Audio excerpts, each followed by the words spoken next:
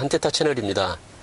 오늘은 차량의 오디오 시스템에 대해서 영상을 찍어보려고 합니다.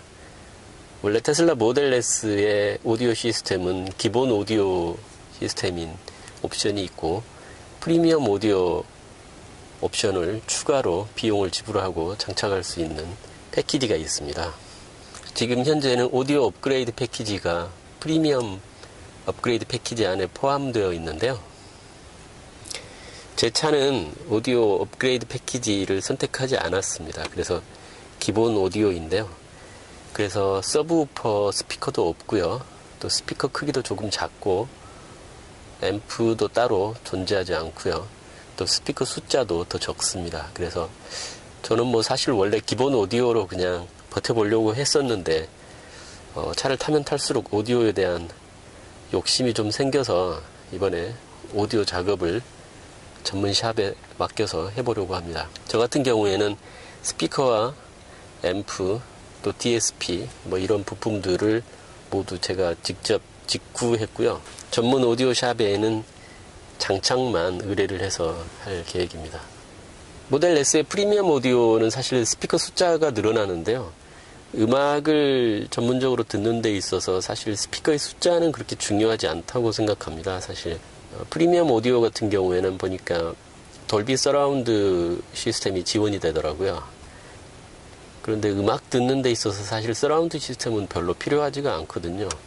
영화를 감상한다거나 할 때 음향의 입체감을 어, 효과를 주기 위해서 서라운드 시스템을 사용을 하는데요. 차량 내에서 굳이 영화를 보면서 서라운드 시스템을 사용할 일은 별로 그렇게 효용성은 없다고 생각되는데요. 그래서 저는 기존에 도어 4개에 부착되어 있는 스피커 4개를 교체를 하고 또 트위터도 교체를 하고 장착되어 있지 않은 subwoofer를 추가로 장착하고요. 그리고 앰프와 digital signal processor DSP까지 이렇게 장착을 하는 작업을 하려고 구상을 해봤습니다. 그런데 오디오 작업을 한 후에 오디오 작업 효과를 좀 보려고 제가 지금 기본 오디오 사운드를 녹음을 좀 하려고 하는데요. 사실 이게 별 의미가 없는 게 예, 녹음해서 유튜브에 올려드린다고 하더라도 실제 차에서 나오는 사운드를 들으시는 게 아니기 때문에 뭐 사실 효과는 없고 의미도 없는 것이긴 한데요. 그래도 일단 약간이나마 참고를 하실 수 있도록 비교가 가능하도록 녹음을 해보려고 합니다. 음악을 비교할 때 대부분 자신만의 그 reference가 될 만한 음악들을 다 가지고 있는데요. 저 같은 경우에는 옛날 음악들을 음, 좋아하고 reference 음악도 그래서 아주 오래된 음악 중에 한 곡을 골랐습니다. 이 곡은 팝과 락도 혼합이 되어 있고 또 곡의 뒷부분에 후반부에 가보면 어, 오케스트라 사운드도 좀 나오거든요. 그래서 여러 장르의 음악을 하나의 곡에서 좀 이렇게 비교해 볼 수 있고 또 평소에 제가 좋아하던 곡이기도 하고 해서 이 곡을 한번 선택을 해봤습니다. 그리고 녹음 장비도 오늘은 특별하게 좀 더 녹음을 섬세하게 하기 위해서 별도의 Tascam 레코더를 가지고 왔고요. 어, 이렇게 설치를 차 안에 운전석과 조수석 가운데 마이크를 설치해 놓고 어, 한번 녹음을 해보도록 하겠습니다. 이퀄라이저 시스템은 일단은 현재 제가 가장 선호하는 형태로 이퀄라이저를 맞춰놓고 한번 녹음을 해보도록 하겠습니다. 네. 기본 오디오도 뭐 그렇게 나쁘진 않다고 생각합니다, 사실은. 그런데 이제 서브우퍼가 없다 보니까 저음이 좀 약한 측면이 있고요. 그리고 출력이 그렇게 높지가 않습니다. 물론 음악을 그렇게 막 크게 틀어놓고 들을 일은 별로 없지만 어, 고속도로 같은데 속도가 좀 상당히 올라갔을 때 주변 소음이 큰 경우에는 음악 볼륨도 좀 올리게 되는데요. 볼륨, 음악 볼륨을 좀 올리게 되면 아무래도 출력이 약하다 보니까 주변 소음에 많이 묻히게 되더라고요. 네, 이번 프로젝트의 첫 번째 단계로 바로 이 애플 TV인데요. 애플 TV 2세대입니다. 전에 쓰다가 4세대를 새로 구입하면서 지금은 안 쓰는 건데 이거를 차에서 한번 이용을 해 보려고 그러는데요. 이게 지금 원래 이 애플 TV의 전원이 220V에 꽂아서 쓰도록 이렇게 되어 있거든요. 근데 차량에서 이걸 쓰려면 또 별도 인버터가 필요하고 그래서 이거를 아예 USB 전원으로 개조할 수 있는 키트를 어, 이베이에서 구입을 했습니다. 그래서 원래 있던 이 전원부를 제거를 하고 이베이에서 구입한 이거로 교체를 하게 되면 이 USB 단자를 통해서 전원을 공급받을 수가 있게 됩니다. 그래서 이거를 여기다가 연결을 하고 하면 차량에서도 전원을 쉽게 끌어서 쓸 수가 있을 것 같아서 맨 첫 번째 단계로 맨 첫 번째 단계로 이 애플 TV를 전원 이 애플 TV의 전원 단자를 개조를 해봤습니다. 네, 주문한 제품들이 왔는데요. 맨 먼저 서브우퍼입니다.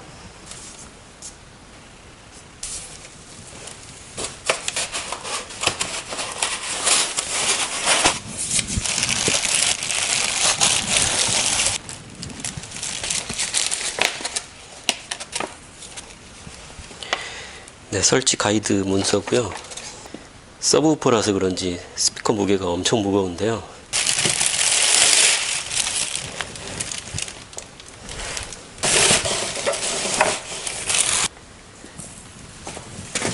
모델 S의 트렁크 왼쪽 귀퉁이 예, 그 공간을 활용할 수 있도록 이렇게 모델 S의 트렁크 크기에 딱 맞도록 이렇게 제작이 되었습니다. 다음은 앰프입니다. JL 오디오사의 900W짜리 5채널 앰프고요.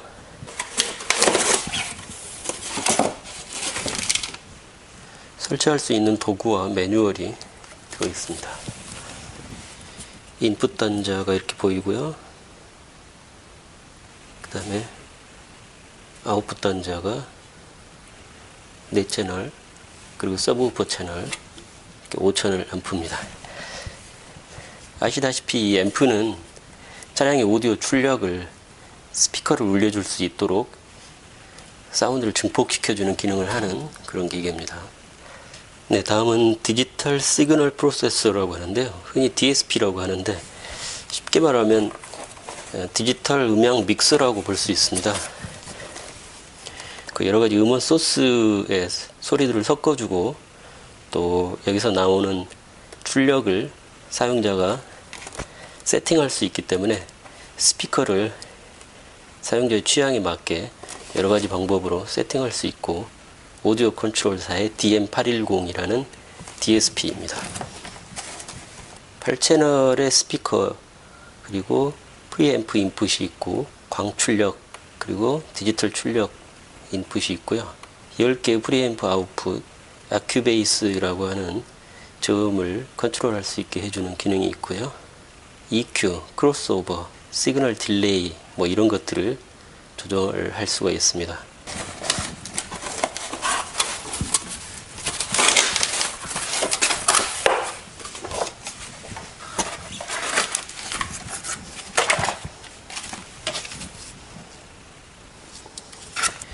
여기 네 채널의 아날로그 인풋이 있고요.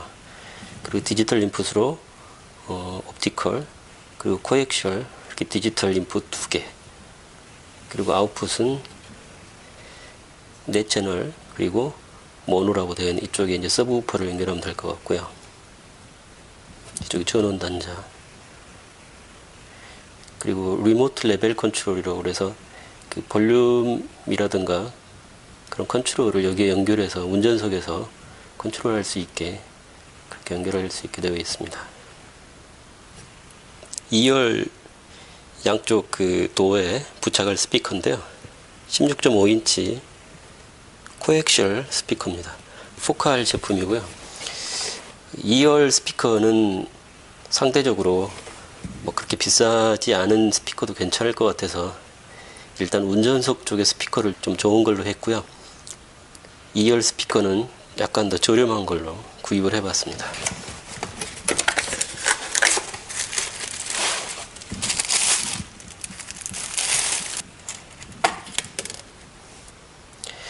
가운데 트위터가 같이 붙어 있는 투웨이 스피커입니다.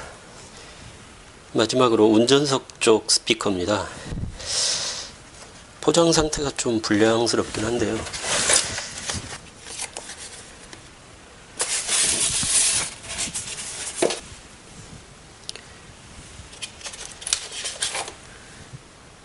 트위터가 따로따로 이렇게 있고요.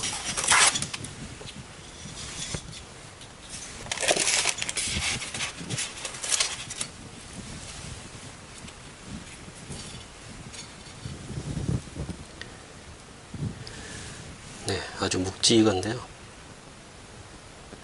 165KRX2라는 모델인데 포장 상태가 영 마음에 안 드네요.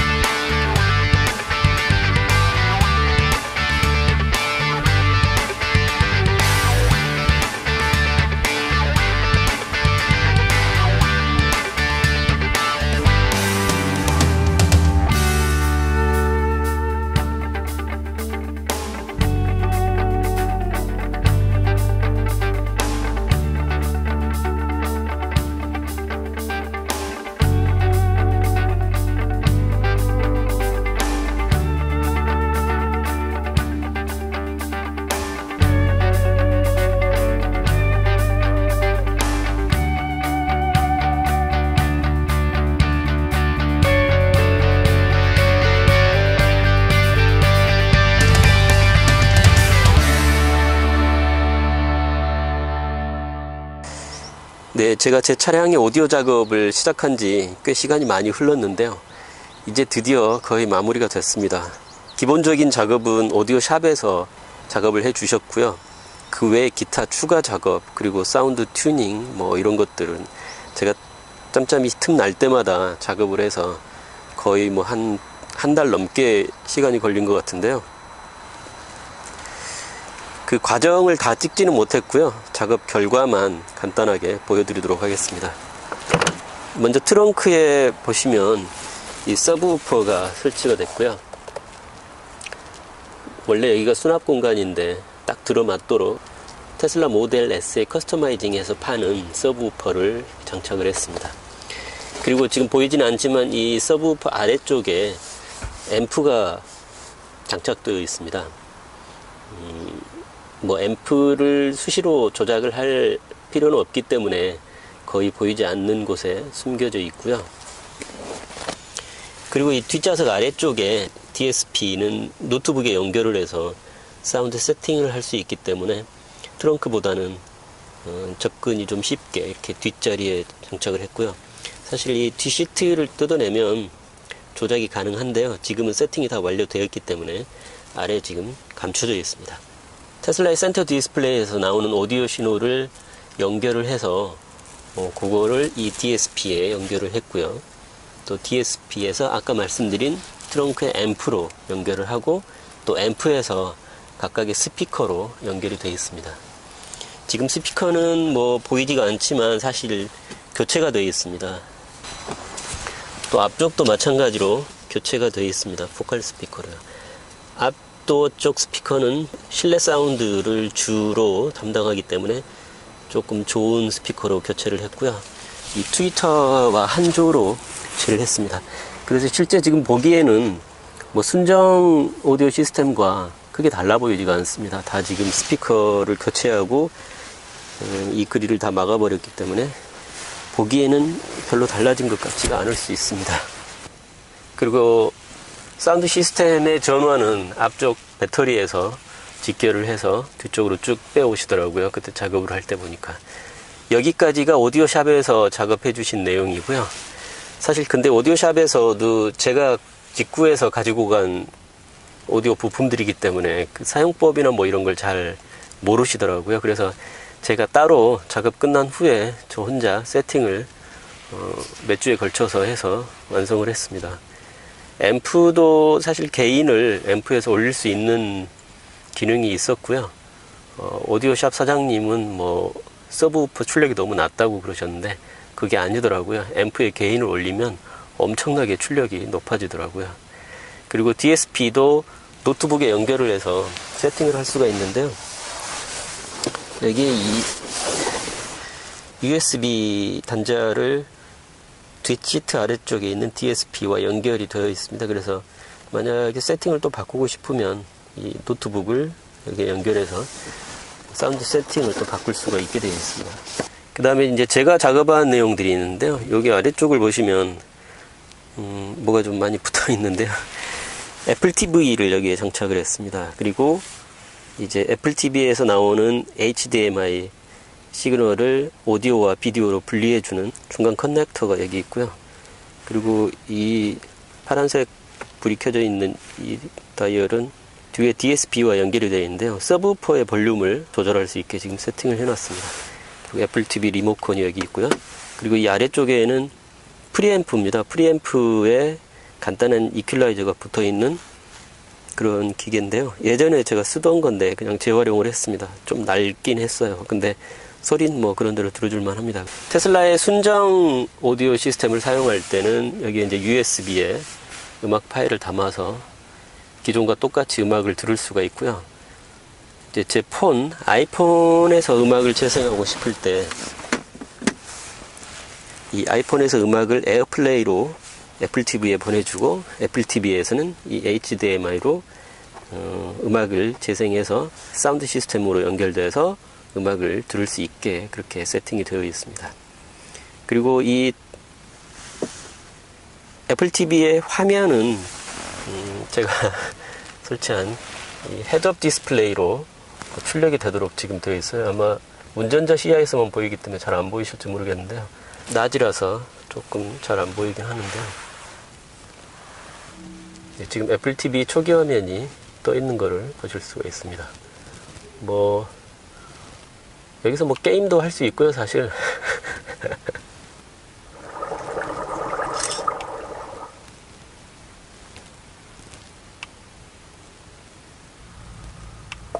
네. 여기서 뭐 차에서 게임도 할 수가 있습니다.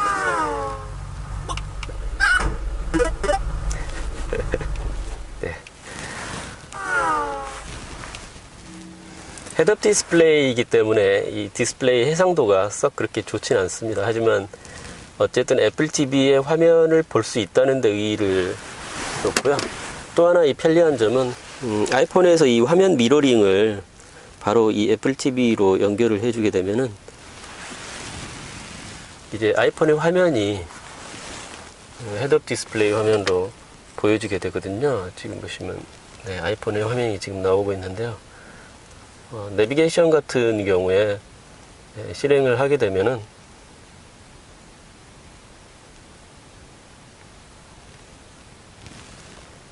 네. 네, 뭐 이런 식으로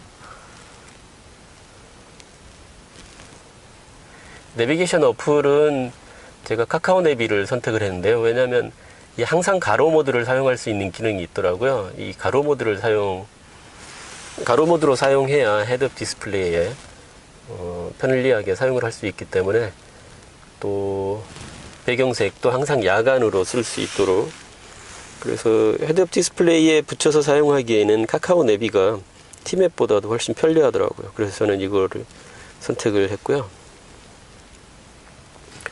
어, 이렇게 HUD로 하게 되면은 음, 좀 더 깔끔하게 이런 화면을 볼 수도 있습니다. 그리고 이제 음악도 어, 물론 기존의 에, 아이폰의 음악을 테슬라에서 들을 수는 물론 있습니다만 블루투스로 연결이 되거든요. 근데 어, 아시다시피 블루투스는 아무리 코덱이 좋아졌다고는 하지만 음질이 많이 열화가 생깁니다. 그래서 에어플레이를 통해서 음악을 감상하게 되면 훨씬 더 좋은 음질로 들을 수가 있는데요. 이게 아, 아이폰에서 음악을 플레이하게 되면 이 애플 TV를 거쳐서 음악을 바로 들을 수가 있습니다. 볼륨이나 뭐 EQ 조정 같은 거는 여기서 바로 할 수가 있고요.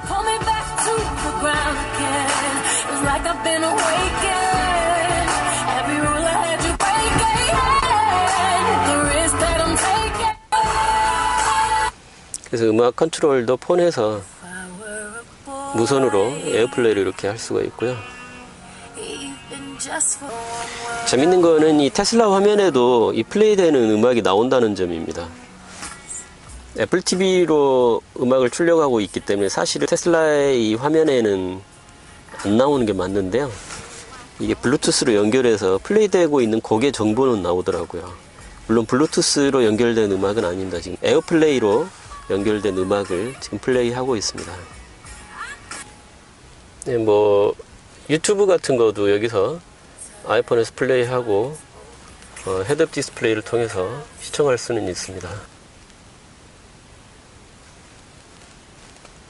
횡단보도 앞에 지금 제가 맨 앞에 섰는데요. 네, 제 영상인데요. 로 출발을 해보도록 하겠습니다. 네, 궁뜰 수밖에 없는데요. 네, 지금 보시면 속도가 금방 올라가고 있고요. 뒤에 차들은 지금 한참 뒤에 있습니다.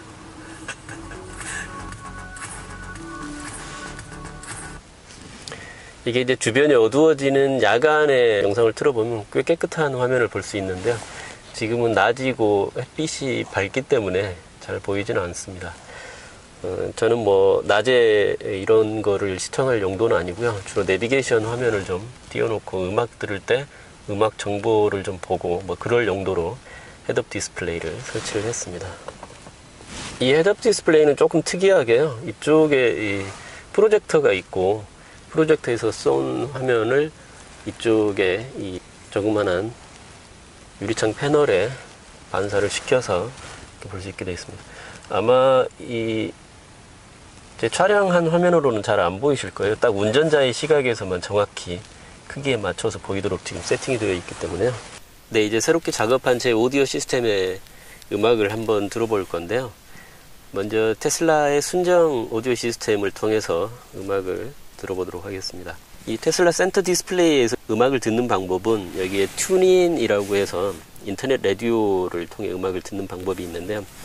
어, 워낙 음질이 조악하기 때문에 저는 거의 듣지는 않고 있습니다.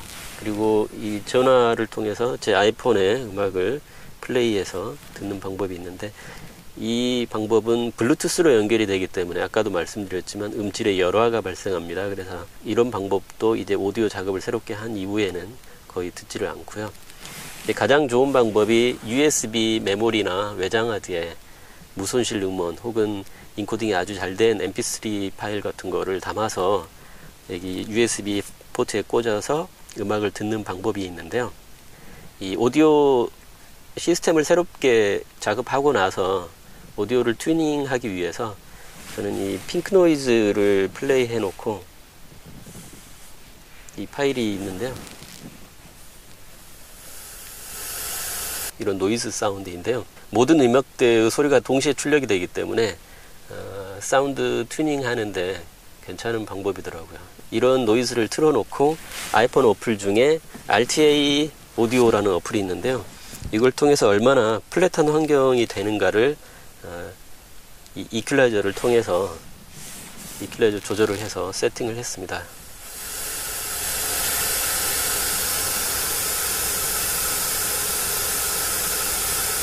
네. 여기 보시면 네, 지금 아주 저음역대 외에는 거의 그 균일하게 지금 세팅이 되어 있는 걸 보실 수 있을 텐데요.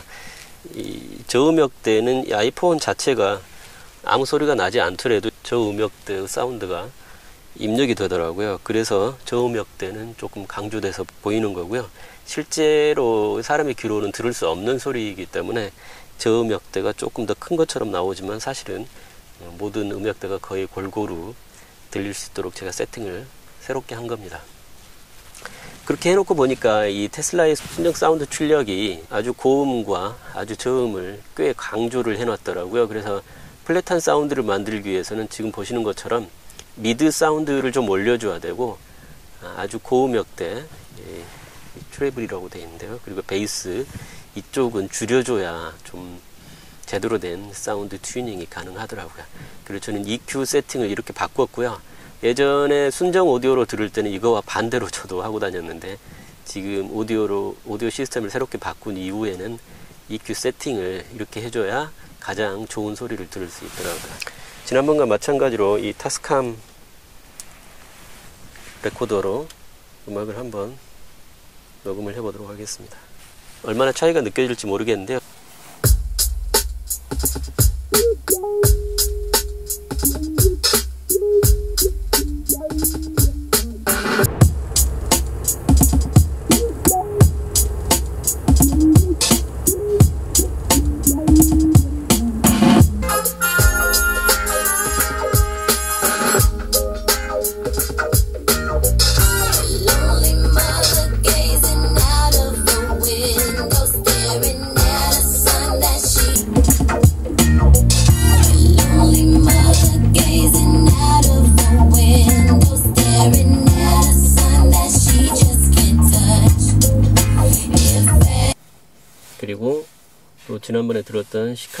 음악도 한번 잠깐 들어보도록 하겠습니다.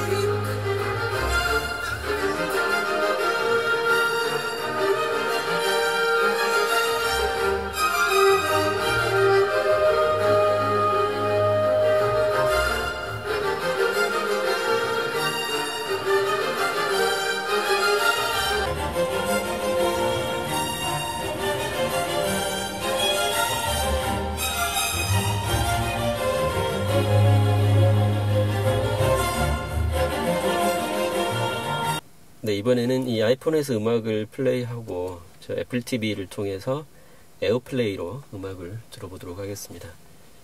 뭐 이번에는 좀 다른 노래를 들어보도록 하겠습니다.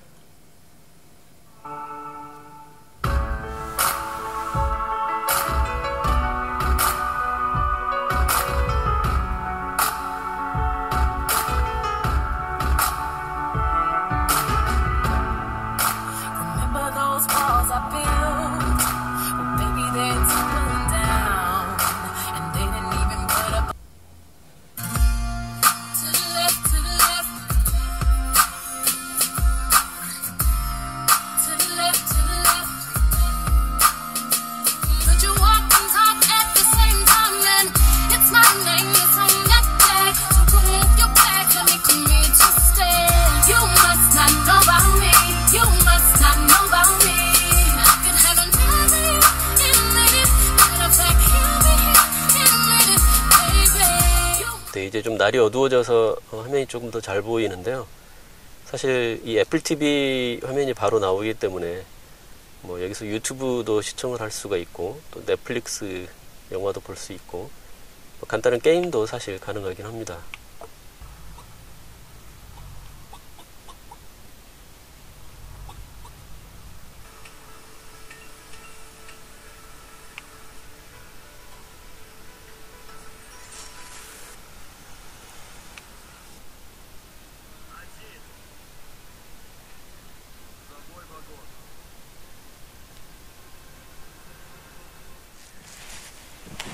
자, 오늘은 또 여기까지 해서 제 차량의 오디오 시스템 업그레이드 한 내용, 그리고 간단하게 음악을 비교해서 들어보는 영상을 올려드렸습니다.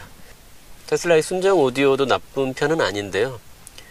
음, 좀더 음악을 제대로 들어보고 싶으신 분들은 이런 식으로 오디오 시스템을 어, 개인적으로 업그레이드 하는 것도 괜찮은 방법이라고 생각합니다.